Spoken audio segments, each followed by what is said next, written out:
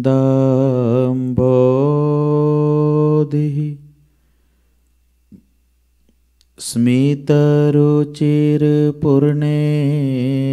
स्मितरुचिरपूर्णेन्दुवदन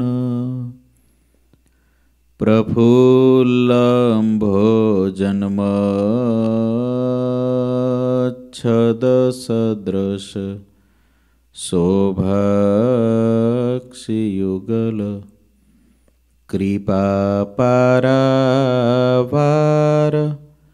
श्रितसकलजीवातिसुखदो श्रितसकलजीवाति सुखदो महाश्रेयो मूर्तिर् जयति सहि नारायनमुनि वरनिवेशरमणीयदर्शनम् मन्दहासरुचिरादनाम्बुजम् पूजितं सुरनरोत्तमेरमुदा धर्मनन्दनमहं विचिन्तये। ॐ अवतारिणे श्रीस्वामिनारायणाय नमो नमः। ॐ श्रीहरिकृष्णाय नमो नमः ઓમ શ્રી પૂર્ણ પુરુષોત્તમાય નમો નમઃ. બોલો શ્રી સ્વામિનારાયણ ભગવાનની જય, શ્રી હરિકૃષ્ણ મહારાજની જય, શ્રી ઘનશ્યામ મહારાજની જય. બધાય ભક્તોને હેતથી જય સ્વામિનારાયણ. સદગુરુ આધારાનંદ સ્વામી શ્રી હરિચરિત્રમ સાગર ગ્રંથની અંદર પૂર અગિયારમું ને તરંગ ઓગણીસ એમાં છેલ્લે કથા લખે છે, ભગવાન શ્રીહરિ ધોરાજી ગામને વિશે આવ્યા છે. જ્યારે ભગવાન ધોરાજીમાં આવ્યા, હઠીભાઈ હાથી લઈને આવ્યા છે, પ્રાર્થના કરી છે, પ્રભુ મારા હાથી પર બિરાજો. બધાઈને તમારા દર્શનની બહુ તાન છે, બધાય ભક્તો ફૂલના હાર લઈને આવ્યા છે, દેશ દેશાંતરમાંથી હરિભક્તો આવ્યા છે. લગભગ બેથી ત્રણ મણ જેટલા ફૂલના હાર ભગવાન પોતાના અંગો પર ધારણ કરતા, બાકીના વધે એ સંતો ભક્તોને આપી દેતા. આવી રીતે ભગવાન શ્રી હરિ આવેલા તમામ ભક્તોને, સંતોને બધાઈને રાજી કરે છે. આગળ આવે સ્વામી લખે છે ને મુક્ત મુનિ ઉત્તમ રાજાને કથા સંભળાવે છે પૂર અગિયારમું તરંગ વિશ શ્રી હરિપુર में आए जब पूर्वासी सब ही जन बाजार में उबे आई कर हर खबरे अति मन વનિતા આયે જીતની અંગદરે સોલ સિંગાર કંચન કેલીએ થાલહી, મોતી ભરે અપાર. કંચન કેલિયે થાલહી, મોતી ભરે અપાર. શ્રીહરિ જ્યારે ધોરાજીમાં આવ્યા, ત્યારે બધા પૂર્વાસી જનો હરખભર હૈયે આવીને બજારમાં ઊભા હતા. હરકભરે હૈયે બજારમાં આવીને બધા ઊભા રહ્યા. બધી સ્ત્રીઓએ સારા વસ્ત્રને અલંકાર પહેર્યા હતા. અપાર મોતીથી ભરેલા સોનાના થાળ હાથમાં લીધા હતા. તે રીતે જ સોના રૂપાના ફૂલ, શ્રીફળ અને ફૂલના હાર સૌએ લીધા હતા. અમાપ શોભા બની હતી અને તે સ્ત્રીઓ શ્રીહરિને ઘણા જ પ્રેમથી વધાવતી હતી. જેટલા પુરુષો હતા, તેઓએ શરીર ઉપર ઘરેણા પહેર્યા હતા અને હાથમાં ફૂલહાર લઈને તેઓ ઘણા બધા બજારમાં ઊભા હતા. ભગવાન શ્રીહરિ પધાર્યા છે તો ધોરાજી વાસીઓ બધાએ સારા કપડાં પહેર્યા છે. સારા શણગાર કર્યા છે. પુરુષોએ પણ સારા વસ્ત્રો પહેર્યા છે, બહેનોએ પણ સારા ઘરેણાને વસ્ત્રો પહેર્યા છે, ભગવાન પધારે છે. આપણે જગતને રાજી કરવા માટે સારા કપડાં પહેરીએ, લગ્ન પ્રસંગોમાં પહેરીએ, તમે બધા ગ્રહસ્થાશ્રમમાં છો, તમારા વ્યવહાર પ્રમાણે તમારે કરવું જોઈએ. પણ ભગવાનને ત્યાં જ્યારે સારો પ્રસંગ હોય, ભગવાનનો પાટોત્સવ હોય, ભગવાનને ત્યાં સારા ઉત્સવો હોય, ત્યારે પણ ભગવાનને રાજી કરવા માટે આપણે ભગવાનના ભક્ત છીએ. આપણે પણ ડ્રેસ પહેરવો જોઈએ. એટલે આપણે છે ને કોટીવાળો ડ્રેસ છે વાઈટ ડ્રેસ છે, બધા ડ્રેસો છે, પહેરે છે ભગવાનના ભક્તો. ભગવાનને રાજી કરવા માટે. ખીલેલા ફૂલવાળી બજાર કોઈ ફૂલબાગ જેવી જનાતી હતી. બજાર ફૂલ કર ફૂલી રહેવું. ફૂલ કે બાગ જનું આઈ બનેવું. બાયુ ઉભે સબ આઈ બાયુ મેં બાયુ ઉભે સબ આઈ પુરુષ મેં પુરુષ ઉભે રહાઈ, પુરુષ મેં પુરુષ ઉભે રહાઈ. ખીલેલી ફૂલવાળી બજાર કોઈ ફૂલબાગ જેવી જનાતી હતી. ત્યાં સ્ત્રીઓ ભેડી સ્ત્રીઓ ને પુરુષો ભેડા પુરુષો ઊભા હતા. સૌ શ્રીહરિને હાર પહેરાવતા હતા ત્યારે શ્રીહરિ સામેથી તેમને પ્રસાદીના હાર આપતા હતા. શ્રીહરિની આગળ જે ઝરિયાની નિશાન હતા તે અત્યંત સોહામના લાગતા હતા. ડંકા નોબતને વિવિધ પ્રકારના વાજિંત્ર વાગતા હતા. હર્ષ વધારતા હતા.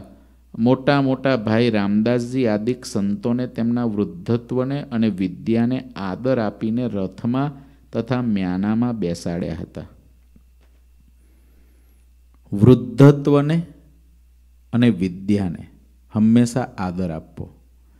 વિદ્યાવાન વ્યક્તિને આદર જ્યાં નથી એ અવિવેક છે. મહારાજે કહ્યું, સાધુ આવે, વિદ્વાન આવે, બ્રાહ્મણ આવે, ઉઠીને એનો આદર કરવો અને એને આસન આપવું. વિદ્યાવાન વ્યક્તિની કદર જ્યાં થતી નથી, ત્યાં મોટો અવિવેક છે. વૃદ્ધત્વ વૃદ્ધ વ્યક્તિની જ્યાં કદર નથી, જે ઘરમાં કદર નથી, જે સમાજમાં કદર નથી, એ સમાજ અને ઘર અવિવેકી ગણાય છે. એ એક્સિડન્ટ ક્યારે એ ઘરનો કે સમાજનો થઈ જાય એનું કાંઈ નક્કી નથી. જેના ઘરમાં વૃદ્ધ છે, એનું ઘર ખરેખર ખીલેલા બગીચા જેવું કહેવાય. વૃદ્ધ જેના ઘરમાં છે માતા પિતા ઘરની અંદર હોય, એની દરેક યુવાન યુવતીઓ સેવા કરે. માતા પિતા ઘરમાં હશે, એની સેવા કરતા હશો, એની હૂંફ અને છત્ર હશે તો બાળકોમાં સારા સંસ્કારો મળશે. પરિવાર હર્યો ભર્યો લાગશે, આજે આ વાત, આ કથા શ્રવણ કરતા ભક્તોને કહેવાની જરૂર નથી પડે એવી. એનો અમને ઝાઝો ખ્યાલ છે. કારણ કે રોજ કથા વાર્તાનું શ્રવણ કરીને ભક્તો બધાય વૃદ્ધો પ્રત્યે આદર ભાવ રાખે છે. એવું બહુધા જોવા મળે છે. બહુધા. જેટલા પરિચયમાં છે ત્યાં જોઈએ છે. વડીલો બધા આનંદમાં હોય, તરત ખબર પડી જાય કે આ ઘરમાં વડીલોને આદર એટલો છે એટલે જ વડીલો આનંદમાં હોય. અને વૃદ્ધોને આદર આપવો જ જોઈએ. આપણી સંસ્કૃતિની ગરિમા છે. એમાં આપણું હિત છે. ભગવાન શ્રીહરિએ જે ભાઈ રામદાસજી આદિક વૃદ્ધ સંતો હતા અને વિદ્યાને મેળવેલા સંતો હતા, વિદ્વાન હતા, પાછા મોટા હતા, ઉંમરમાંય મોટા હતા, વૃદ્ધ હતા, એવાને રથમાં ને મ્યાનામાં બેસાડ્યા. જ્યારે સત્સંગ, સત્સંગનો ધર્મ અને વિવેક બંનેને દેખીને પૂર્વાસી લોકો કહેતા કે સાચી મોક્ષની રીત તો અહીંયા જ છે. વેરી જેના ઘાવ વખાને એવી ભગવાન સ્વામિનારાયણની રીતિ છે, હતી અને રહેશે. ધર્મ અને વિવેક. વૃદ્ધોને આદર આપવો, વિદ્યાવાનને આદર આપવો, તપસ્વીને આદર આપવો, સાધુને આદર આપવો માતા પિતાને આદર આપવો, ગુરુને આદર આપવો, આ બધાય વિવેકો છે. વિવેક છે. અને ધર્મ પણ જે સંતો ભક્તોમાં હતો, એને જોઈને ધોરાજી ગામના જે લોકો હતા, એ બધા એવી વાતો કરતા કે સાચો મોક્ષ તો અહીંયા જ દેખાય છે. સર્વોપરી કહે ધર્મ રહે ધારી, નહીં છુવત કબુધન અરુ નારી અનંત કોટી બ્રહ્માંડ મેં જો અનંત કોટી બ્રહ્માંડ મેં જોવું એસે સુને નહીં સંત હિ કોવું એસે સુને નહીં સંત હિ કોવું આ સંતો જ સર્વોપરી ધર્મને ધારી રહ્યા છે ધોરાજીના લોકો આવી વાતો કરતા। તેઓ ધન અને સ્ત્રીને ક્યારેય અડતા પણ નથી। અનંત કોટી બ્રહ્માંડોમાં જુઓ, આમના જેવા સંત ક્યાંય સાંભળ્યા નથી. અનંત કોટી બ્રહ્માંડોમાં. આધારણ સ્વામી લખે છે, ધોરાજીના લોકો એકાબીજા સાથે વાતો કરતા કે અનંત કોટી બ્રહ્માંડોમાં ગોતવા જાય તો પણ આવા ભગવાન સ્વામિનારાયણના સ્ત્રી અને ધનના પાકા ત્યાગી સાધુ જે છે, એવા સાધુ મળવા બહુ દુર્લભ છે. સદગુરુ ગુણાદિતાનંદ સ્વામી કે કોટી કલ્પ થયા જોઈએ છે. આ ભગવાનને આ સાધુ ક્યારેય આ પૃથ્વી પર આવ્યા નથી. એવી રીત ભગવાન શ્રીહરિ લાવ્યા છે. ભગવાનના સંતોની જે રીત જોઈ ધોરાજી વાસીઓએ જે રીતનું શ્રવણ કર્યું કે આ ભગવાનના સંતો આ પ્રકારનો સ્ત્રી અને ધનનો ત્યાગ રાખે છે, ત્યારે બધાઈને સંતો પ્રત્યેનો આદર વધ્યો. જે આ ધર્મ છે, આવો ધર્મ ક્યાંય જોયો નથી. આ સંતોને કદાચ સ્વપ્નમાં પણ જો સ્ત્રીનો સ્પર્શ થઈ જાય, તો જાગ્રત અવસ્થામાં તરત જ તેનું પ્રાયશ્ચિત કરે છે. જેમ સ્વપ્નમાં ક્યારેક સિંહ અને સર્પ આવે, ત્યારે તેનાથી જેવા ડરે છે, તેમ સ્વપ્નમાં સ્ત્રીને જોઈને આ સંતો ડરીને ભાગવા લાગે છે. આ બધું એ લોકોએ સાંભળેલું છે કે સંતોને સ્વપ્નની અંદર પણ સ્ત્રીનો સ્પર્શ થઈ જાય તો જાગ્રત અવસ્થામાં, એટલે કે જ્યારે જાગે ત્યારે એનું પ્રાયશ્ચિત કરે છે. અમારે સંતો માટેના પાંચ વર્તમાનો છે. નિર્લોભી વર્તમાન છે, નિષ્કામી વર્તમાન છે, નિર્માની વર્તમાન છે નિસ્વાદી વર્તમાન છે અને નિસ્નેહી વર્તમાન છે. નિર્લોભી વર્તમાન એટલે સાધુ પોતાનો એક રૂપિયો ભાર પણ પોતે એક કોડી ભાર પણ પોતાનું કરીને ન રાખી શકે. પોતાનું. મંદિરનું હોય, સંસ્થાનું હોય, પરંતુ આ મારો રૂપિયો એમ કરીને ન રાખી શકે. બીજી વાત, નિષ્કામી વર્તમાન. એની અંદર અષ્ટ પ્રકારથી સ્ત્રીનો ત્યાગ કરવાનો છે. એ સાધુનું નિષ્કામી વર્તમાન છે. અહીં આગળ જે વાત કરે છે, ત્રીજું નિર્માની વર્તમાન.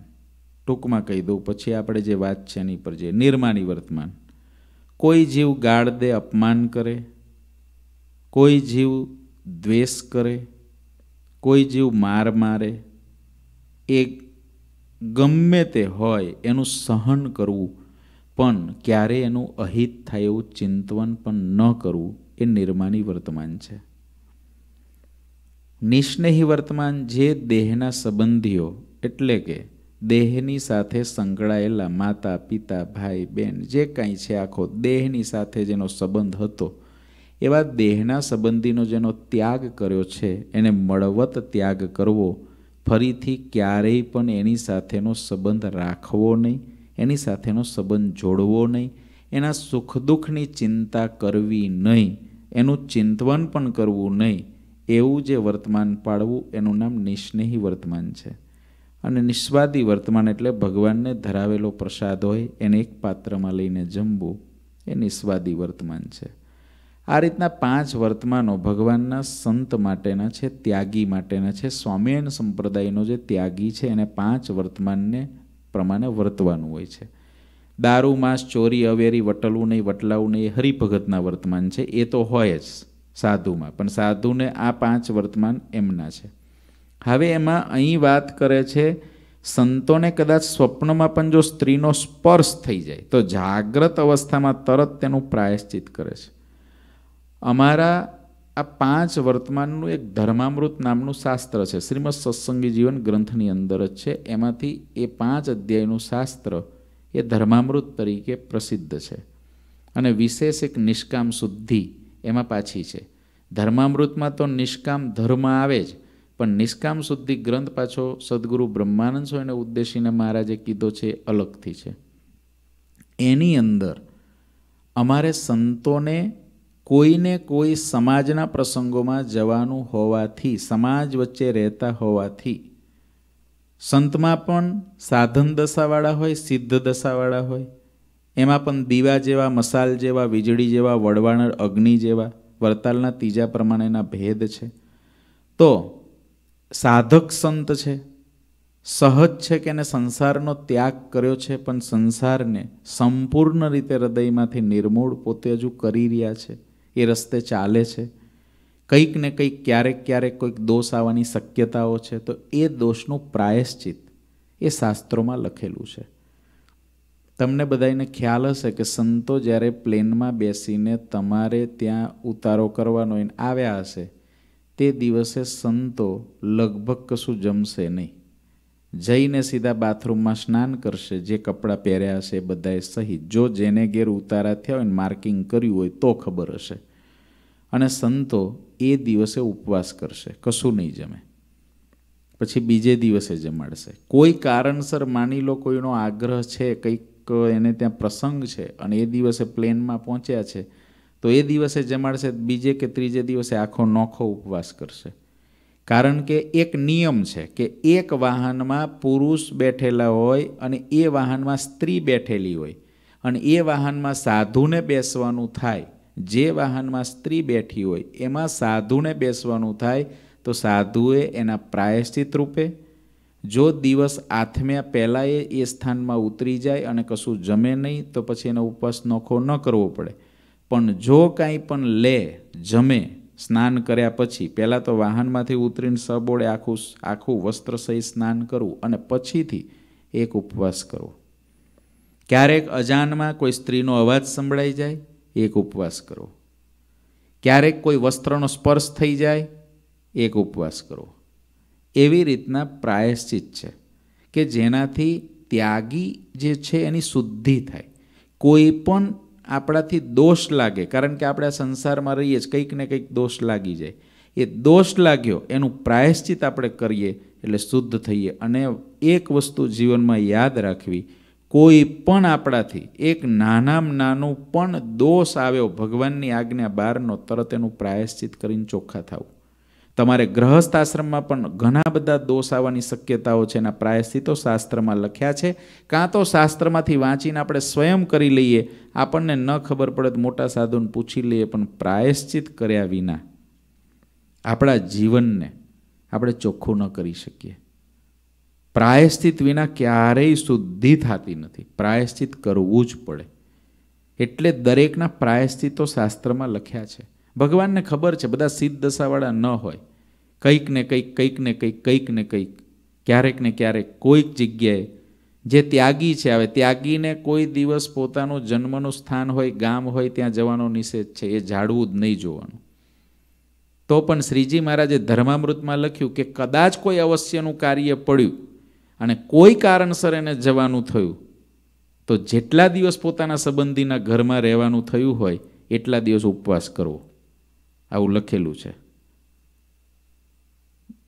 કારણ કે એને દોષ લાગ્યો નિષ્નેહી વર્તમાન એનું તૂટ્યું, પણ કોઈ કારણસર, માની લો, ત્યાગી કોઈ નીકળ્યા છે.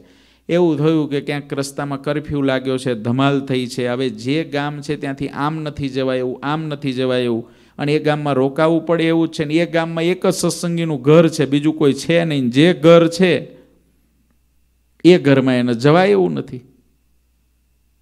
એવી ઘટના ઘટી. અને જો ત્યાં રહેવું પડ્યું, તો એનું પ્રાયશ્ચિત કરવું પડે. આ દરેક બધાના નિયમ છે. અને ત્યાગાશ્રમની અંદર ભગવાન શ્રીહરિએ આ બધા નિયમો કરેલા છે. એટલે સંતોને જાગ્રત અવસ્થામાં તરત જાગીને પોતાને કંઈક સ્વપ્ન દોષ થયો, તો તરત એનું પ્રાયશ્ચિત સંતો કરતા. જેમ સ્વપ્નમાં ક્યારેય સિંહ અને સર્પ આવે, ત્યારે તેનાથી જેવા ડરે છે. તેસે સુપને મેં નારી કુજોઈ, ડરી ભાગત હે સંત હિ સોઈ એસે ધર્મ ન જગ મેં કોવું સિદ્ધ સે અધિક, સિદ્ધ યહ સોવું સ્વપ્નમાં પણ સ્ત્રીને જોવે તો સંતો ડરીને ભાગવા લાગે છે. જગતમાં આવો ધર્મ ક્યાંય નથી. મોટા સિદ્ધો કરતાં પણ આ સંતો વિશેષ સિદ્ધ છે. સ્વપ્નમાં સ્ત્રીના દર્શન થઈ ગયા. પણ સ્વપ્નમાં પણ જેમ જાગ્રતમાં ભાગે ને, એમ સ્વપ્નમાંય ભાગે. સ્વપ્નમાંય ભાગે, ભલે સ્વપ્નું જ આવ્યું છે. ક્યાંક મોટા બજારની અંદર જઈ ચડ્યા છે, કોઈક જગ્યાએ માનો કે તિરુપતિ બાલાજીમાં દર્શન કરવા ગયા છે કે કોઈ બીજી જગ્યાએ દર્શન કરવા ગયા છે ને એટલી ભીડની અંદરથી નીકળવાનું હોય અને ત્યાં દર્શન કર્યા. હવે દર્શન કર્યા ને બધે ફર્યા હોય ને એ બધું સ્વપ્નમાં આવી ગયું અને સ્વપ્નમાં ફરીથી દર્શન કરવા દોડ્યા. અને એની અંદર ક્યાંક વસ્તીની અંદર કોઈક જગ્યાએ સ્ત્રીને અડી જવાય એવો પ્રસંગ થાય તો જેમ બકરું સિંહથી ભાગે, એમ જે ભાગે એ ભગવાનનો સાચો ત્યાગી સાધુ છે. સ્વપ્નમાં પણ જેને ધર્મ પાડવાનું તાન હોય, એ ભગવાન શ્રીહરિને વાલો સાધુ છે. ન માનવું પૃથ્વી વાંજની હોય, આવા ભગવાનના સંતો આજે પણ આ પૃથ્વી પર છે. પૃથ્વી પર છે. સ્વપ્નની અંદર ધર્મ લોપાય એવું દેખાય તો ત્યાંથી ભાગે. સ્ત્રી હોય કે ધન હોય, પોતાને જે વસ્તુનો નિષેધ છે ત્યાંથી તરત ભાગે. આવા ભગવાનના સંતો છે, એવા ભગવાનના ભક્તો પણ છે કે સ્વપ્નની અંદર કોઈ દોષ લાગ્યો હોય તો તરત એનું પ્રાયશ્ચિત કરે. આ સંતો વિશેષ સિદ્ધ છે, મોટા સિદ્ધો કરતાં પણ આ સંતો વિશેષ સિદ્ધ છે. ત્યારે શાસ્ત્રો એવું નથી કહેતા કે એવો વિચાર કરવો કે લો આ તો સાધુ થયા તો એને સ્વપ્નની અંદર ધન દેખાયું. સ્વપ્નમાં સ્ત્રી દેખાના. બુદ્ધિ છે ને? એ તો બધી બાજુ દોડે એવી છે. પણ એટલી વાત સમજવી જોઈએ કે ભગવાનના જે સાધુ થયા છે, એ સાધુ કેટલો મોટો ત્યાગ કરીને સાધુ થયા છે. એની અંદર પણ એની સાધના માર્ગ ચાલુ હોય, કોઈ યોગભ્રષ્ટ હોય છે. કોઈને સો જન્મની મહેનત હોય છે, કોઈને કરોડ જન્મની મહેનત હોય છે ભગવાનને પામવાની. અને કોઈક ભગવાનને પામીને ભગવાન થકી ભગવાનના સંકલ્પથી આ પૃથ્વી પર આવેલા હોય છે. ભેદ છે. દીવા જેવા, મસાલ જેવા, વીજળી જેવા વડવાના અગ્નિ જેવા, વરતાલના ત્રીજામાં એટલે જ કહેવું પડ્યું કે હોય. એના માટે શાસ્ત્રો રચવા પડ્યા. એના માટે શ્રીજી મહારાજને કાયદાઓ કરવા પડ્યા. એવું છે. અને ઘણા એવા દોરડાપણિયા જીવ હોય કે પોતાનું હરખું કરે નહીં અને ભગવાનના સંત કે એકાંતિક ભક્ત પર ટીકા કરે. પોતાનું સરખું જીવન કરી નથી શકતા. અને આપણે કોઈ ખરેખર પાકો સાધક છે, કોઈ સંત છે, કે કોઈ ભક્ત છે, પાકો સાધક છે, ભગવાનને પામવાને, ભગવાનને ભગવાનને રાજી કરવા માટે એ દીવા જેવો છે, મસાલ જેવો છે, એમાંથી એને વડવાનળ જેવો થવા માટેનો એનો ચોખ્ખો અભિપ્રાય છે ને ચોખ્ખા રસ્તે હાલે છે. એની ઉપર તરત કોઈ પણ પ્રકારની ટીકા કરી દેવી. બહુ મોટો ગુનો છે. બહુ મોટો ગુનો છે. કોઈ ભગવાનના ભક્ત છે, એ ભગવાનને રાજી કરવા માટે મથે છે, તો ભૂલ તો થવાની છે એની. ક્યારેક એ એ એ સ્ટોરમાં જોબ કરતા હશે તો ક્યારેક થોડું જોવાઈ જશે, ક્યારેક કંઈક અડી જવાશે, ક્યારેક કોઈક જગ્યાએ કંઈક ખવાઈ જશે, આવું તો થાય, પણ એનું તરત પ્રાયશ્ચિત કરવું પડે. ભૂલ થાય, એનું તરત પ્રાયશ્ચિત કરે, તો ભગવાન રાજી થાય છે. કધોન્યું કપડું રહેવા દેવાનું નહીં. કપડાને રોજ ધોયા કરીએ ને તો ચોખ્ખું રહે. પણ કધોન્યું થઈ જાય, તો પછી ચોખ્ખું ના થાય. ઘણાને તો આજ્ઞાની ચાળની વાગે એકેય આજ્ઞા ક્યાં ગઈ ખબર જ નથી હોતી. કઈ આજ્ઞા લોપાય એ ખબર જ નથી હોતી. એવું ના થવું જોઈએ. ભગવાન આજ્ઞાના હિમાયતી છે, ભગવાનને ધર્મ બહુ વહાલો છે, માટે ધર્મને આપણું, આપણા ધર્મને આપણે આપણા જીવનની અંદર સિદ્ધ કરવા માટે ભગવાનના પિતા છે ધર્મ. એ ધર્મને રાખવા માટે અવશ્યમેવ જે જે જગ્યાએ આપણી ભૂલ થતી હોય ભૂલનું તરત પ્રાયશ્ચિત કરવું. એક કીડી મરી જાય ને તો એનું પ્રાયશ્ચિત લખ્યું છે. ઉંદર મરી જાય તો એનું પ્રાયશ્ચિત લખ્યું છે. કોઈનું હૃદય દુખાઈ જાય તો એનું પ્રાયશ્ચિત લખ્યું છે. તમને એક વાતની બહુ મજા આવે એવી વાત છે. અમારા સાધુના ધર્મમાં એવું લખ્યું, સાધુ જો અકળાય, ગરમ થઈ જાય અને કોકને માર મારે અને લાકડીએ કરીને એનું અંગ ભાંગી જાય તો એનું પ્રાયશ્ચિત લખ્યું છે. સાધુએ કોકનું અંગ ભાંગી નાખ્યું, લાકડીએ લાકડીએ. તો એનું પ્રાયશ્ચિત લખ્યું છે કે આવું પ્રાયશ્ચિત કરીને એને ચોખ્ખો કરો સાધુને. એવું લખ્યું છે. હોય, કોકની અંદર એવો ગુસ્સો આવી ગયો નહીં, ઓલા પરમાનંદ સ્વામી તલવારનું ઠૂઠું લઈને ના મંડી પડ્યા, કટાઈ ગયેલી તલવાર લઈને ઉતરી પડ્યા ખોખરાની અંદર. લો, પરમાનંદ સ્વામી. અને ભાઈ કાન કપાઈ ગયો તોય ખબર ના પડી. વેરાભાઈ ઉપલેટાના જે સાધુ થયા હતા. શ્રીજી મહારાજ કે, સ્વામી, આ હું કાન તમારો ક્યાં ગયો? અરે મહારાજ, આ બધું હુલ્લડ બોલ્યું મારે ક્ષત્રિયની પ્રકૃતિને તે મહારાજ કૂદી પડ્યો. પછી યાદ આવ્યું કાં તો ભગવું પહેર્યું હતું. આ ક્યાં થઈ ગયું? એટલે મહારાજ ભૂલ થઈ ગઈ. મહારાજ કે તમે સાધુમ નહીં, હાલો જાઓ. અને વેરાભાઈ પાછા જઈને ભગવાનનું ધ્યાન કરીને કામ, ક્રોધ, લોભ, એક એક મૂર્તિમાન શરીરમાંથી બહાર કાઢ્યા વેરાભાઈએ. મહત્વનું એ નથી કે વેરાભાઈને પરમાનંદ સ્વામીને તલવાર લઈને કૂદી પડે એ મહત્વનું નથી મહત્વનું એ છે, એનો દાખલો કેવો? એક એકને મૂર્તિમાન કાઢી નાખ્યા. એનો દાખલો, એના દાખલા બાજુ જોવાનું છે. એટલે જેને સમજતા ના આવડે ને, એને તો બધે દોષ આવે. બધે દોષ આવે. સ્વપ્નમાં સ્ત્રીને જોઈને આ સંતો ડરીને ભાગવા લાગે છે. જગતમાં આવો ધર્મ ક્યાંય નથી. મોટા સિદ્ધો કરતાં પણ આ સંતો વિશેષ સિદ્ધ છે. આનો અર્થ કોઈ અન્યથા ના લે કે ભાઈ સ્ત્રીને દેખીને ભાગવા લાગે. સ્ત્રી સાધુ હોય, એ પુરુષને દેખીને ભાગવા લાગે. એવું છે. જગતમાં એવા સિદ્ધો પણ છે કે જેઓ અગ્નિમાં અને પાણીમાં પ્રવેશી જાય છે. મોટા કોણ લાગે? જગતમાં મોટા કોણ લાગે? અગ્નિમાં પ્રવેશે, પાણીમાં પ્રવેશે, બધા મોટા લાગે. પણ એવું તો ઘણા બાજીગરો પણ કરે છે. આ ધોરાજીના લોકો વાત કરે. એવા તો કેટલા જાદુગરોય કરે છે આવું તો. તેનો લગાર પણ ભાર નથી પડતો. જે સંતો ધનના અને નારીના ત્યાગી હોય, તેઓ ઈશ્વર જેવા કહેવાય છે. એવા સમર્થા સંતો છે, જેની બીજા કોઈને ખબર નથી. કનક કાંતા સૂત્રેન વેષ્ટિતમ સકલમ જગત. કનક એટલે કે સોનું અને કાંતા એટલે સ્ત્રી. આનાથી આખું જગત બંધાયેલું છે. તાસુ તેસુ વિરક્તેસુ. એનાથી જે વિરક્ત હોય, દ્વિભુજો પરમેશ્વર. બે ભુજાવાળો ભગવાન છે. સ્ત્રી અને ધન, આખી દુનિયાના ઝઘડાઓના ઇતિહાસો કાઢો.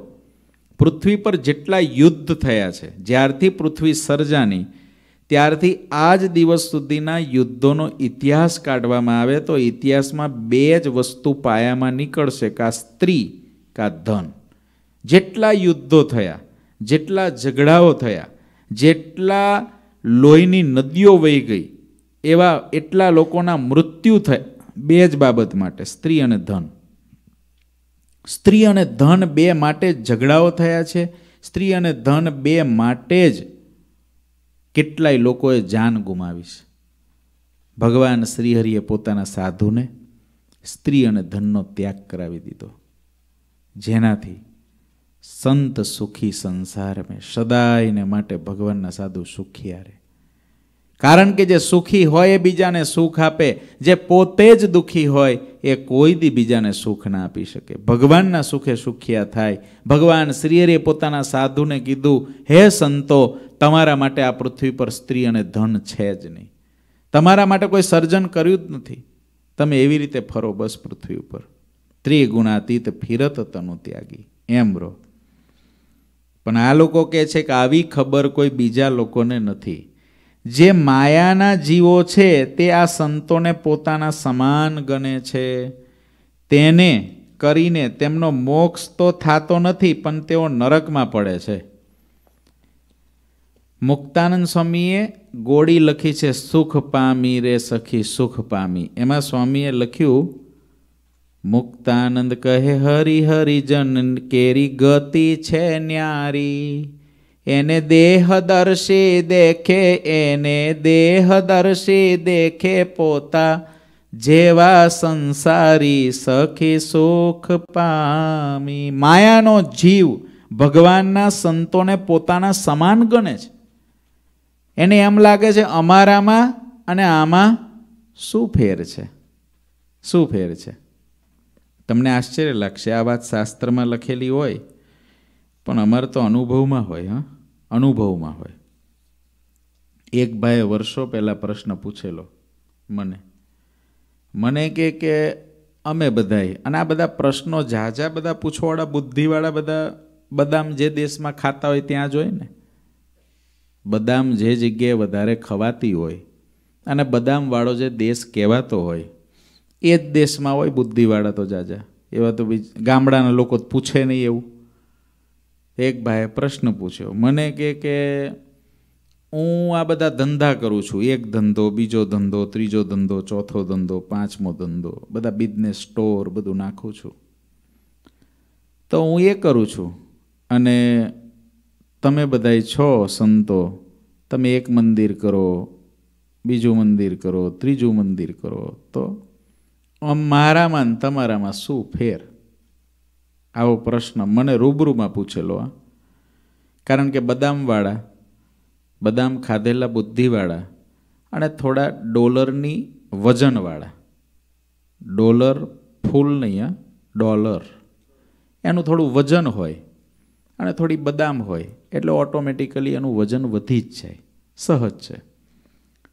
પૂછ્યું કે આમાં શું ફેર? એ બતાવો. એટલે સહજ છે, આવો પ્રશ્ન જે પૂછે, એને પહેલાં પહેલું તો વાત નક્કી હોય કે તમારો સ્વીકાર જ ના હોય. તો જ પ્રશ્ન પૂછાય. કારણ કે બદામ ખાતા હોય, પણ આપણને શ્રીજી મહારાજે એમની વિચારરૂપી બદામ તો આપી જ ને. એટલે એને આ પ્રશ્ન પૂછ્યો હોય, એને જિજ્ઞાસાથી નથી પૂછેલો. એને તમને તાર્કિક રીતે પૂછેલો છે. છતાં પણ, શ્રીજી મહારાજ કે સાધુને તો બાળકની પેઠે નિર્માની રહેવું. એ સાધુનો પરમ ધર્મ છે. મેં કીધું કે એમાં એવું હોય કે તમે જે કરો છો, એ તમે કરો છો તમારા દેહના સંબંધી માટે કરો છો. અને કોઈ સંતો ભગવાનનું મંદિર બાંધતા હશે, મંદિર કરતા હશે, જે કાંઈ સમાજની કોઈ સેવા કરતા હશે, તો એ પરોપકાર કરે છે. એ પોતા માટે કશું કરતા નથી. પરોપકાર કરે છે. જીવોને ભગવાનના માર્ગે ચડાવે છે. સ્થાન ના હોય તો સ્વામી કે ભગવાન ભજાવીએ કેમ? તો એના માટે કરતા હોય. મને કે, પણ એવું નહીં. હું પરોપકાર જ કરું છું ને. મેં કીધું, શું પરોપકાર કરો છો તમે? તો કે, હું મારા માટે ક્યાં કરું છું? હું મારા સ્ત્રી માટે કરું છું, મારા છોકરા માટે કરું છું, છોકરાના છોકરા માટે કરું છું. તો હું બીજા માટે જ કરું છું, એટલે પરોપકાર જ ગણાય ને. મારા માટે તો હું તો હું તો તૂટી મરું છું. અને જે કરું છું એ કોના માટે કરું છું? બીજા માટે. બોલો, આટલી બદામ ખાધેલા ને? બૃહસ્પતિ બોલાવો તો એ પહોંચે. મેં કીધું, એક કામ કરો. તમે બરાબર છે કે તમારું, તમે એ રીતે કરો છો, સંતો આ રીતે કરે છે, એક કામ કરો. તમે બધું એના માટે ના કરશો ખાલી. તમે જેના માટે મને ગણાવ્યું ને એના માટે ના કરશો, એ સિવાયના બીજા માટે કરો. એટલે આપણે હરખા. પછી તમે સંતો બધાય હરખા. જેના માટે તમે મને ગણાવ્યું પરોપકાર એટલાને બાકાત કરી નાખો. અને એ સિવાયના બીજા બધા માટે કરો. મન કે એવું થતું હશે? મેં કીધું, બસ ત્યારે. એવું ના થાય ને, એટલો એટલો ડિફરન્ટ આ સાધુ જે તમે જેને ગણાવ્યા ને તમે જેને ગણાવે ને, મેં કીધું, તમે જેને ગણાવે ને, એવા જેને આ દેહના પોષણ કરીને પોતાના પેટમાં રાખીને નવ નવ મહિના રાખીને ખોડામાં રમાડીને, મોટા કર્યા ને, એની સામું જોવા જતા નથી કે સુખી છે કે દુઃખી છે. એ ભૂખ્યા છે કે તરસ્યા છે? એ જોવા જતા નથી. એ જોવા જતા નથી, એની ચિંતા કરતા નથી, એટલું તો વિશેષ બીજું તો ઘણું છે, પણ આ તો વિશેષ છે જ. એટલું તમારે થાય, પછી તમે નક્કી કરજો કે આ હરખું છે. પણ બુદ્ધિના ચક્કરોમાં જે ચડી ગયેલો હોય તર્ક, કોઈ દિવસ એને ન ઉતરે. માયાની અંદર જ્યારે જીવ હોય, એને ભગવાન કે ભગવાનના સંત કે ભગવાનના ભક્તની મોટપ નથી સમજાતી. કોઈ ભગવાનના ભક્તો એટલી બધી કેટલા લોકોની વિચારધારા સમાજમાં એટલી બધી નીચી હોય છે. કોઈ ભગવાનનો ભક્ત હોય. અને પોતાનું સર્વસ્વ કુરબાન કરી દીધું સત્સંગને અર્થે. કોઈ પણ જગ્યાએ સ્વામિનારાયણ સંપ્રદાયમાં જ્યાં હોય ત્યાં. એને પોતાનું સર્વસ્વ કુરબાન કરી દીધું સત્સંગ માટે. એવા બે ભક્તો એને સર્વસ્વ પોતાનું કુરબાન કરી દીધેલું. આજથી બાર વર્ષ, પંદર વર્ષ પહેલાં. સ્વામિનારાયણ સંપ્રદાયમાં એક જગ્યાએ એ બે ભક્તોએ પોતાના પરિવાર સહિત બધું જ સત્સંગને અર્થે કુરબાન કર્યું. મને ખબર પડી એટલે મેં સહજ વાત કરી બહુ સારું કહેવાય આ ભક્તને. કેટલું બધું દાદા ખાચર જેવું સમર્પણ કહેવાય. તરત મને શું કીધું ખબર છે કે ભાઈ, દાદા ખાચર જેવું સમર્પણ નહીં, પડાવી લીધું કે એની પાસેથી. એની પાસેથી મેં કીધું, આ ભગવાન સ્વામિનારાયણ વખતે જો આ હોય, આ ભગવાન સ્વામિનારાયણ વખતે આને જન્મ મળ્યો હોય અને ગઢપુરમાં રહેતો હોય અને દાદા ખાચર પાસે મહારાજે લેખ કરાવી લીધો તો આ શું ધંધો કરે. આ એવું જ બોલે ને કે સ્વામિનારાયણે બધું આ બુઢા દાદલના જન્મમાં હાલે એવો છે.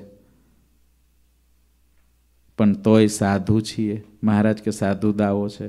મેં કીધું, તમારી સમજણ તમને મુબારક. તમારી સમજણ તમને મુબારક. વાત એવી છે, માયાના જીવને ક્યારેય ભગવાન કે ભગવાનના સંત ભક્તની મોટપ સમજાતી નથી. ક્યારેય નથી સમજાતી. એને એવું થાય છે કોઈનો અલ્પ દોષ હોય ને તો એને મહત કરીને જોવે. પાછું પોતાની અંદર તો કશું જ ના હોય. પોતાને કોઈ, પોતાને પોતાનું ભાન ના હોય, પોતાના કલ્યાણની ચિંતા ના હોય. અરે પોતાના પરિવારને પણ સત્સંગ ન કરાવી શક્યા હોય. એવા હોય. પોતાના પરિવારને, પોતાના સંતાનોને પણ સત્સંગ ન આપી શક્યા હોય. એવા હોય.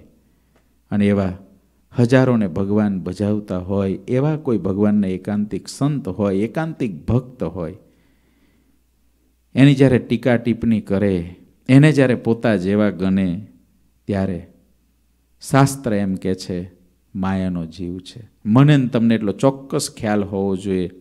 કોઈ ભગવાનના ભક્ત છે, એના જીવનથી હજારો ભગવાન ભજી શકે છે. કોઈ ભગવાનના સંત છે, એના વર્તનથી હજારો ભગવાનને ભજી શકે છે. તો આપણાથી આપણને ખબર હોવી જોઈએ કે મારાથી કેટલા ભજતા થયા. મારાથી કેટલા મોક્ષના માર્ગે ચાલતા થયા. મારાથી કેટલાને સંસાર લુખ્ખો થઈ ગયો. મારી વાતે કરીને, મારા વર્તને કરીને કેટલાને ભગવાનમાં પ્રીતિ થઈ ગઈ. મારી વાત અને મારા જીવનથી કેટલાને ભગવાન શ્રીહરિનું સર્વોપરીપણું સમજાઈ ગયું.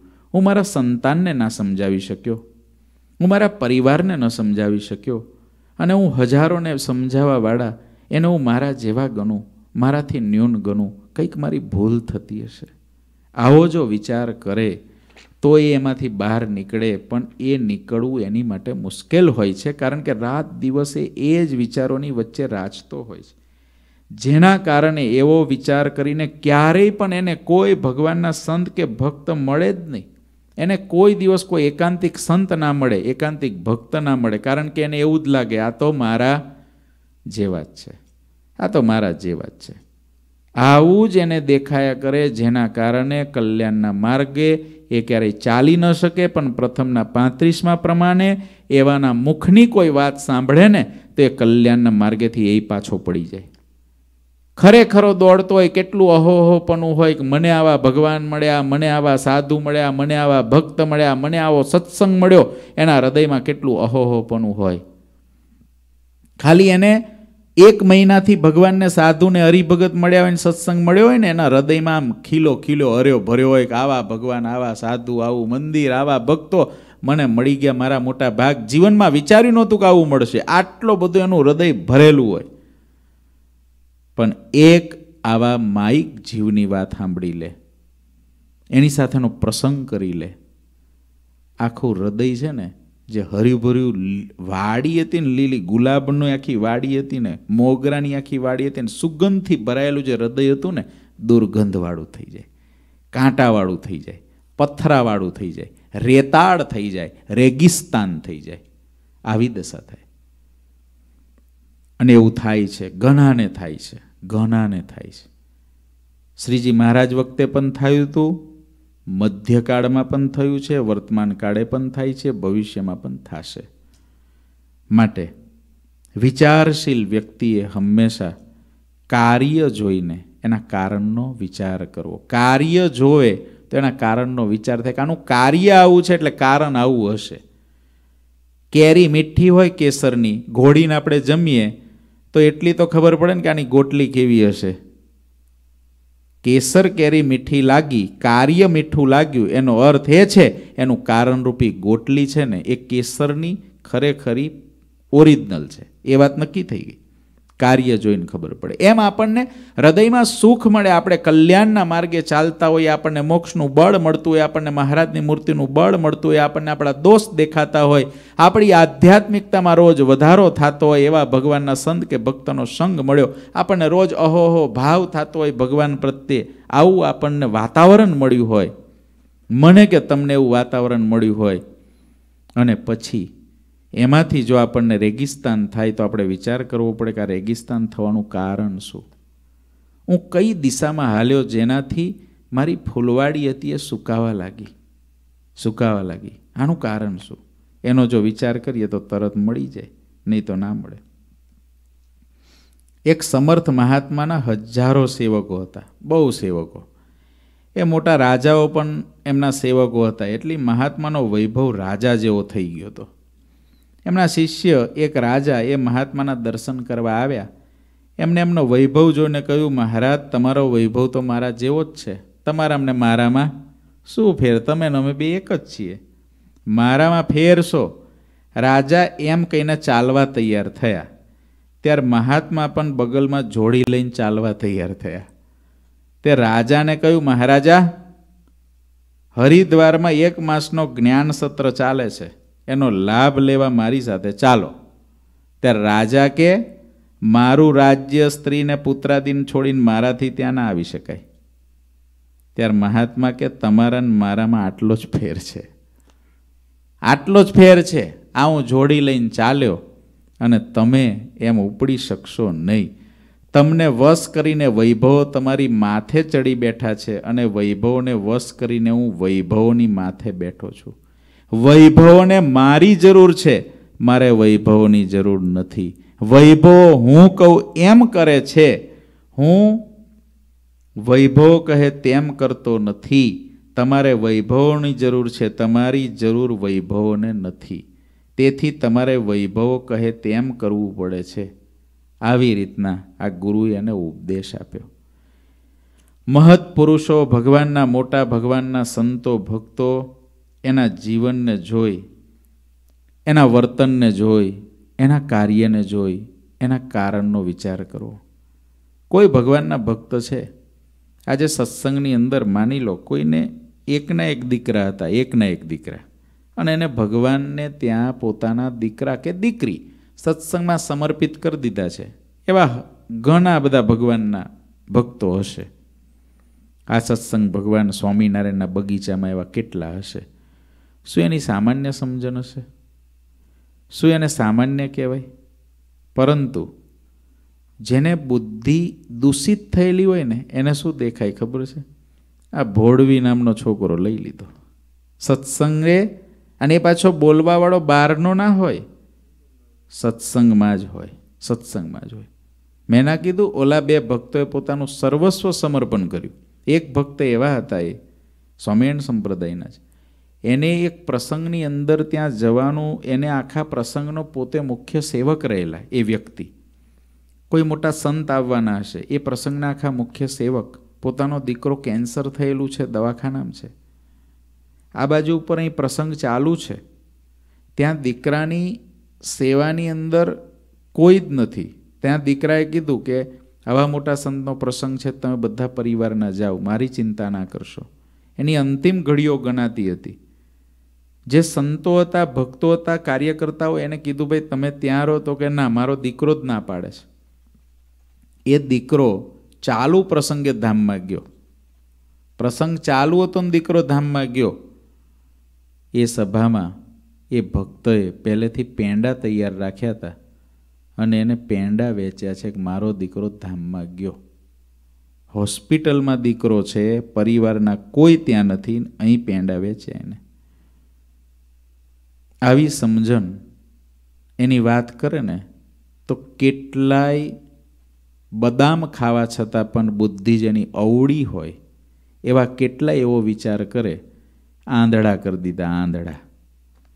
દીકરો ઓલાનો મરી જાય અને એ પેંડા વેચે. આવું તો હોતું હશે. તો ભાઈ શ્રીજી મહારાજે રાયબાનો હાથીઓ ધામમાં ગયો. તેથી શ્રીજી મહારાજે સાકર વેચી હતી. જો તું ત્યાં ઊભો હોત તો હું કહેત હું કે શ્રીજી મહારાજનો દ્રોહ જ કરત ને. અત્યારે શ્રીજી મહારાજ મનુષ્ય આકારે નથી એટલે ના થાય. અને આવી વાતો કરવાવાળા હતા અને વાત પણ કરી. વાત પણ કરી. હવે એવાની વાત, આપણા હૃદયમાં અહોહોપણું હોય આ પ્રસંગને સાંભળીને, પણ એવાની વાત જો ઉતરી જાય તો વસ્તા ખાચર કાર્યાની ના હતા ને એવું થઈ જાય. માટે ભગવાનના ભક્તોએ માયાના જીવને પણ ઓળખી રાખવા જોઈએ. નહીં તો આપણે માયામાંથી બહાર નીકળવા જઈએ અને માયાનો જીવ માયામાં ફરીથી આપણને ખેંચી જાય. એને કરીને મોક્ષ થતો નથી, નરકમાં પડે છે. ભગવાનના સંતો અને ભક્તોને પોતા જેવા જાણે પોતા જેવા જ કે આનું બોલવું, ખાવું, પીવું, બેસવું, ઉઠવું બધું મારા જેવું જ છે ને શું ફેર મારામને એમને? તો એને હજુ સત્સંગને જાણ્યો જ નથી. ભગવાનને એવા દિવ્ય ભક્તોને ઓળખવા કે જેને સત્સંગને અર્થે પોતાનું સર્વસ્વ કરી રાખ્યું ભગવાનના એવા સંતોને જાણવા અને પોતાથી એવા સંતો ભક્તોને બહુ અધિક માનવા. જો આપણે એવું માનીશું, તો આપણા જીવમાં ભગવાનનું બળ આવશે. આપણા જેવા જ આપણે જાણીશું, તો આપણે મેળવશું શું? મેળવશું શું? અને જેને આપણે આપણા જેવા જાણીએ ને, પહેલાં એને જે કર્યું હોય ને, એવું પહેલાં કરી જોવાનું. આપણે કાં આપણી જાતને એનાથી શ્રેષ્ઠ માનતા હોઈએ અથવા એના જેવી માનતા હોઈએ, તો એ જે કાંઈ કરે છે ને, એવું આપણે કરી જોવાનું. આપણાથી થાય, મારાથી થાય એવું, તો મારે માનવું જોઈએ કે ના ભાઈ, હું એમને સમાન છું. મારાથી એમનાથી વિશેષ થાય, તો માનવાનું કે મારે, હું એમનાથી વિશેષ છું. પણ એનું જે કાર્ય છે, એ ભગવાનના ભક્તએ જેવું સમર્પણ કર્યું, જેવી ભક્તિ કરી, જેવું તપ કર્યું, જેવી સેવા કરી, જેવી શ્રદ્ધા રાખી, જેવી નિષ્ઠા રાખી. ગઈકાલ મેં કીધું હતું ને પિયાર ના થાય, એનો થાળ આપ્યો. હવે એ વાતને ઘણી બધી રીતે લેવાય. કોઈ અવળી બુદ્ધિવાળો હોય તો એમ લે, કેવું સમજાઈ દીધું હશે? લો પિયાર નહીં થાળ. આ થાળ જમવા હોય એટલે આવું સમજાઈ દે સાધુ એને. આવું લઈ શકે છે. અને વિચારવાળો એવું પણ લઈ શકે છે. આપણે તો પહેલાં દાદા ખાચરની નિષ્ઠા જ સાંભળી હતી. આપણને એવું તું પહેલાં આવા ભક્તો હતા, પણ આજે પણ છે આવા?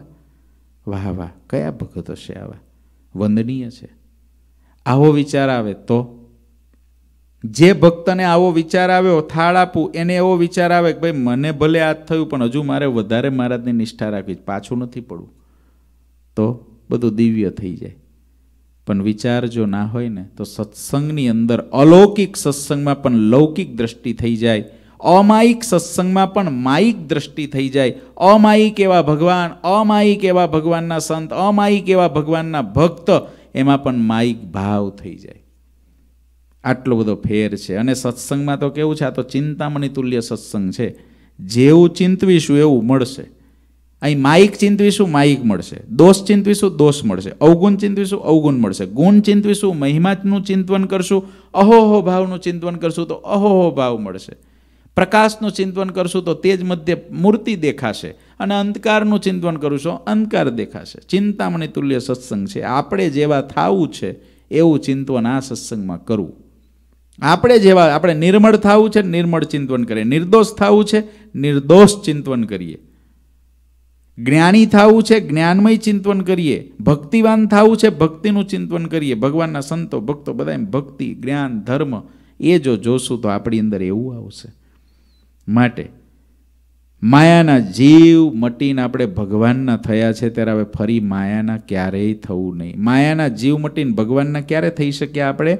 જ્યારે આપણને એવું લાગ્યું કે આ ભગવાન ને ભગવાનના સંતો, ભક્તો અલૌકિક છે. આવું જ્યારે આપણને લાગ્યું ને, ત્યારે આપણે માયાના જીવ મટીને ભગવાનના થયા. આપણે રોજ ઉર્ધ્વગતિ કરીએ છીએ. પણ જ્યારે આપણને એવું થવા લાગે, સત્સંગ કર્યા પછી પાંચ વર્ષ, દસ વર્ષ, પંદર વર્ષ થયા આપણને એમ લાગે લે, આ તો બધા મારા જેવા છે, મારાથી ન્યૂન છે. સમજવાનું આવે, સત્સંગમાં અવિવેક આવ્યો છે અને શ્રીજી મહારાજ કે સત્સંગમાંથી પાછો પડવાનો થાય ત્યારે આવા વિચારો આવે. માટે એવા વિચારો પણ ન કરવા આપણે આપણા માઇન્ડમાં અને એવા વિચારવાળા જે હોય એનાથી લાખો ગાવ દૂર રહેવું. એક ગાવ નહીં, લાખો ગાવ દૂર રહેવું. બાજુમાં રહેવાનું થતું હોય તો હૃદયથી પણ લાખો ગાવ દૂર રહેવું. વેદો તથા શાસ્ત્રો વારંવાર મુખે પોકારીને જે સંતોને મોક્ષનું દ્વાર કહે છે, તેવા સુબુદ્ધિ સંતો છે. વેદોને પુરાણો જેને મોક્ષનું દ્વાર કહે છે, એવા સંતો છે. આવું ધોરાજીના લોકો ત્યાં આગળ વાતો કરે છે.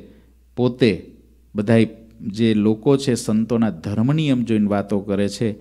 આ વિષયક વાતો હજુ અહીં આગળ પંદર કડી થઈ છે. બાકીની કથા આવતીકાલે શ્રવણ કરીશું. ઘનશ્યામ મહારાજની જે શ્રીપતિમ શ્રીધરમ સર્વદેવેશ્વરમ ભક્તિધર્માત્મજમ વાસુદેવમ હરે માધવમ કેશવમ કામદમ કારણમ સ્વામિનારાયણમ નીલકંઠમ ભજે શ્રી ગણશ્યામ મહારાજ